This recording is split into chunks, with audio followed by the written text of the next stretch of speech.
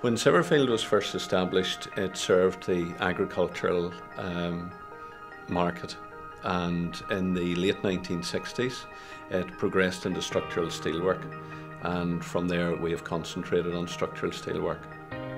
Severfield was founded back in the early 1950s by uh, Thomas Fisher and the Fisher family. Um, our facility here uh, covers 250,000 square metres and we have uh, capacity uh, to produce 25,000 tonnes of structural steelwork per year. Well, what's important to us with the Peddinghaus machinery is the build quality. Uh, we rarely have breakdowns, it's very reliable, and that's very important to us on a business which has a, very, very demanding uh, programs we've got to deliver on, and we feel Peddinghaus deliver on all of those. The most uh, recent purchase in the HSFDB, the plate profiling machine and uh, processing machine, has been the greatest addition of late to us.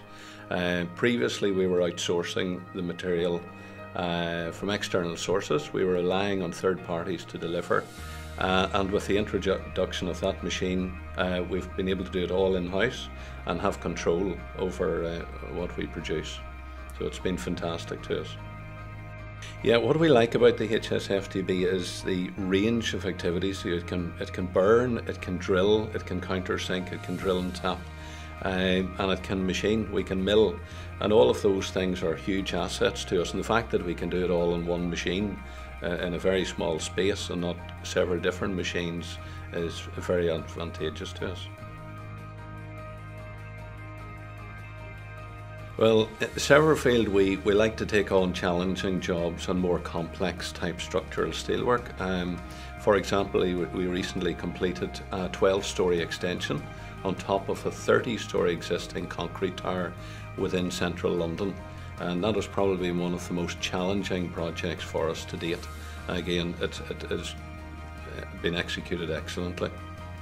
Well, what it's meant in because we are quite restricted on our site, um, we have, we're able to get much larger volumes through. Uh, the speed of drilling, the speed of sawing, the speed of plate production, uh, it's just meant we can grow our business uh, enormously.